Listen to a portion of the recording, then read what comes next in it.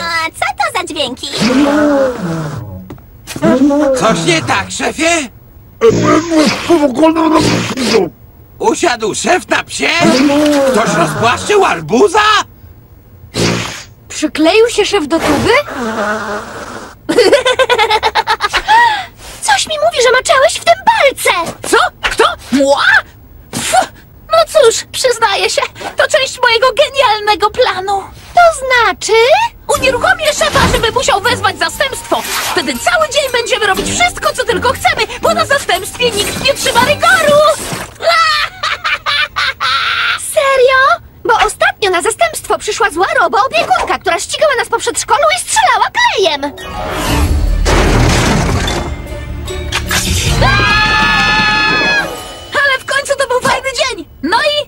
Znam siebie jak nikt inny i nigdy nie wyciągam wniosków.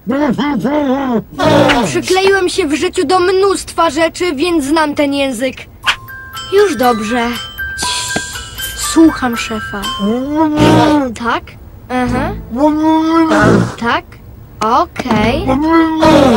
Żeby się odkleić, musi jechać do szpitala. Lub sklepu muzycznego.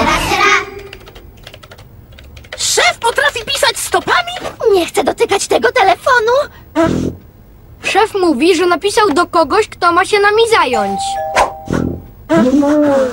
Witaj wolności!